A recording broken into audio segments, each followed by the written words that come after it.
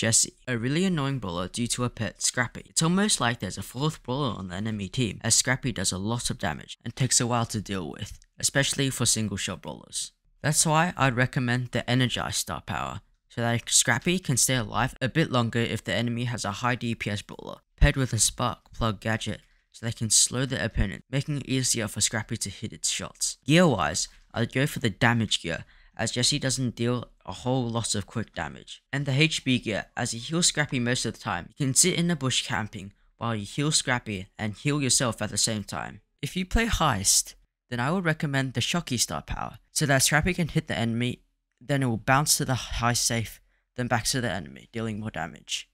And the Recoil Spring gadget, so you can do a lot of damage to the safe quickly. So what is the best build for